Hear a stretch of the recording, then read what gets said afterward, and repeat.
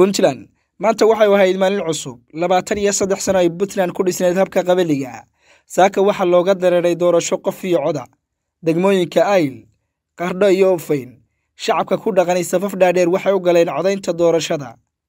Konton iyo saddex sano kadib bulshadani waxay u dareerayaan doorasho ay gacantooda ku dooranayaan dadka ku matalaya masabka siyaasadeed subaxnimadii hore ee saaka degmooyinka qardho ayl iyo ofayn waxaa ka bilaabatay codaynta iyadoo ay warbaahintu u tabinaysay si toosa dhacdooyin waaweyn ayaa la tabiyey. Waxaa ka mid ahaa haweeney kolkii ay soo codaysay isla goobta ku omishay. Qofkii ugu horreeyey oo coday ayaa waxau ahaa dadka baahiyaha gaarkaa qaba.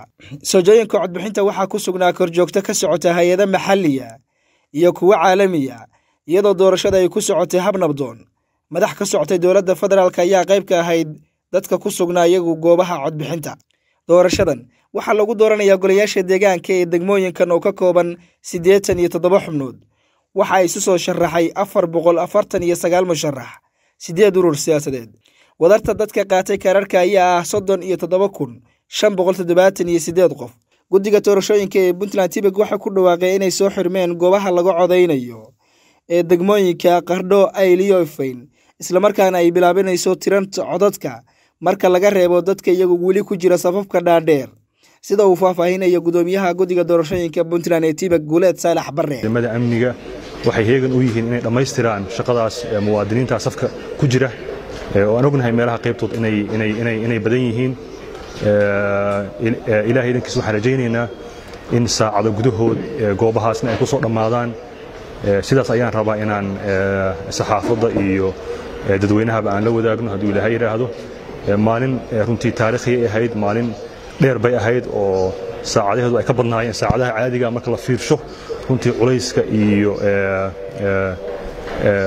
dadku sida ay u dulqaadanayeen oo safafka loogu jiray oo laga yaabo dad salaada subax ka hor saf soo galay inay xilliga kan ay xilli ku dhow ay u heleen fursad inay codeeyaan ama ay weli taagan yihiin oo ay codayn doonaan ilahay idankiis anaguna aanu rajaynayno in qofna aan laga tegi doonin sidii hore aan u ballan qaadnay ilahay idankiis waxaan rajaynaynaa in goobaha ay dhammaatay codbixintu isla haddaba ay bilaamayso tirinta sida uu xeerkuba inoo qabo inta hadda safafka lagu jiro oo la taagan yahay oo dhammaystirmi doonana marka u horaysa saacadda u horaysa iyo daqiiqadda u horaysa oo ay dhammaystirmaan dadkaa safka ku jira ayaannu bilaabi doonnaa tirintii codadka goob kasta waxaa ku sugan korjoogtadii waxaa ku sugan wakiiladii ururada siyaasadda waxaa ku sugan shaqaalihii ka socday guddiga doorashada oo iyagu fududaynayey muwaadiniintaas inay codeeyaan. Intaas ayaan raba inaan saxaafadda iyo dadweynaha aan la wadaago. Guul ayaan idiin rajaynaya ilahay idinkiis waxaan rajaynaynaa dadkaasi maanta ay xaqooda dastuuriga ay isticmaaleen. Inay u soo saari doonaan hoggaankii ay mudnaayeen. Waa maasantiin natiijada ku saabsan doorashooyinka puntland maanta qabsoomay waxaa si toosa ugala socon doontaan telefishinka saab fagende cabdi cumar